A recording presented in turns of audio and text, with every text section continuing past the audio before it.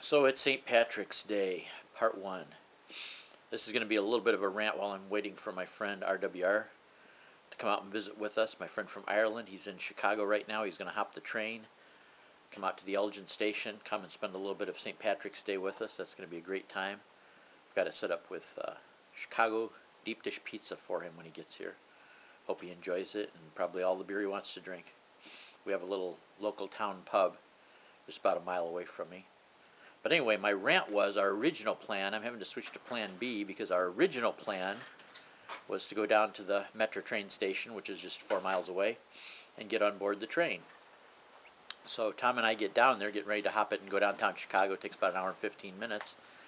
And uh, what happens? The train leaves without us. Not because we were late there. We walked over to the handicap car. I like to use the handicap cars because they give you a little more extra time to board, and they've got larger washrooms too. So we get over to the handicap car, and the door wouldn't open. So I noticed the people that were standing there with us at the time. In fact, one of the older ladies that said hi to me, they were boarding in the car next to us. So I figured, well, we'll just walk over to that car then, and we'll just walk through the center and get in the handicap car that way. No big deal. So we walk over there, and I'm like maybe just a few seconds behind this uh, nice older lady that had talked to us, and the door's shut. So I'm banging on the doors. Nobody's paying attention. I'm looking up and down the train because usually a conductor, before they pull out of the station, a conductor's supposed to stick his head out the door and check to make sure there's no handicapped or disabled people or anybody that needs a little extra time boarding and leave the station and leave somebody behind. Nobody's looking, nothing. I'm pounding, I'm yelling, nothing. The train just basically leaves without us. So, fortunately, since the buses don't run, we would have been stranded, but I was able to get a hold of a family member to come and pick us up, or otherwise we'd have just been stranded for two more hours. So we got back home. First thing I do is I jump on the internet and I'm going to file a complaint with Metra about that. That's ridiculous. But anyway, it's still going to work out. We went to Plan B. I was able to text Ger, and uh, he was able to get to Union Station, where he stands just a couple miles away from Union Station. So he's able to jump aboard a train. So in about another hour, we'll run down to the train station that um, left us behind and pick him up there, hopefully.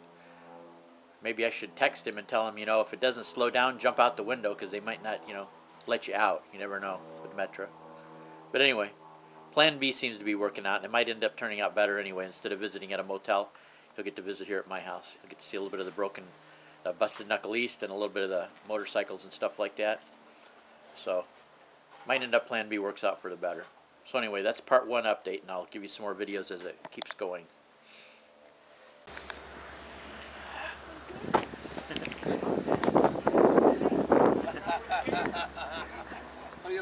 Buddy. Great to meet you. Great to meet you. Sorry about the mess up, buddy. You're okay. Glad Happy you're St. Patrick's Day. Happy St. Patrick's Day to you too. Oh, we finally get to meet them both. Yep. Wow, I didn't know you didn't he have any really hair. is that bad. Yeah, that they wouldn't even let him aboard the train. If I'd have traveled by myself, they wouldn't have closed the doors on me. Go get your big flashlight. Okay. Yeah.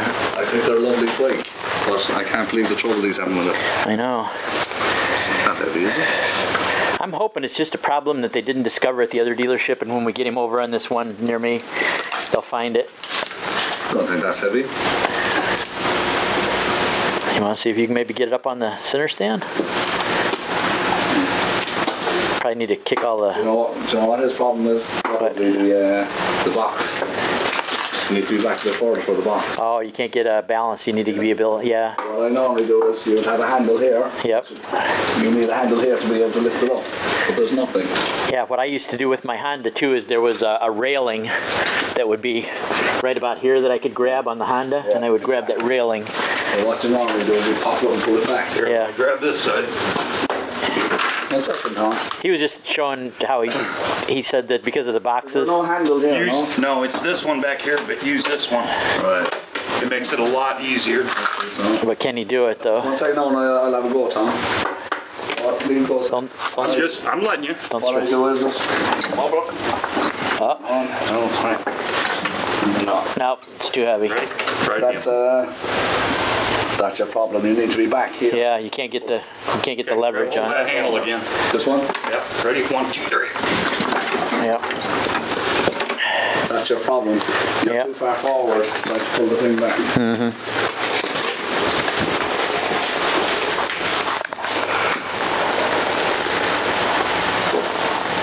Hmm. It's all over the top, is it? Yeah, it's right up there by the radiator.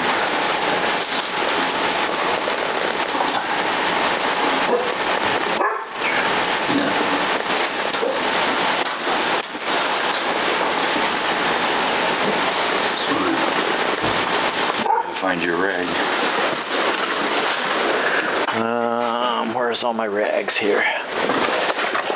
Here you go. There's a bunch of rags. Now one. Sorry. Don't worry, it's just rags. That's what your problem with it, Tom, is you're not back far enough. Yeah. I think on my one, the centre stand is up here. Is there any option to do that? No. I thought that too, that the center stand, the way it's built, kind of is working against your leverage too. It is. Or it should have been a little shorter maybe, but it can't be, but they can't make it shorter or it won't get the tire off, so. Oh, you know, they, they have to make it long because it was ground clearance anyway, being a dual sport, so, Yeah, but it seems very far back. Yeah. Even if it was in here. yeah. And you can't do that. No? That's the only mounting position. And Touratech, Touratech and Twisted Throttle are the only ones that make a center stand for it. Hmm. Surprised. I don't think the bike is that heavy though. Yeah, It until it starts tipping over on me, once I get past, That's the same. once I get past so much, it's like, That's okay, I'm just gonna get away from it. That's the same on every bike. Yep. I have no issues with that. Okay, go ahead, Paul. Uh, uh, It's, uh, it's funny to actually see it in person now. Yeah.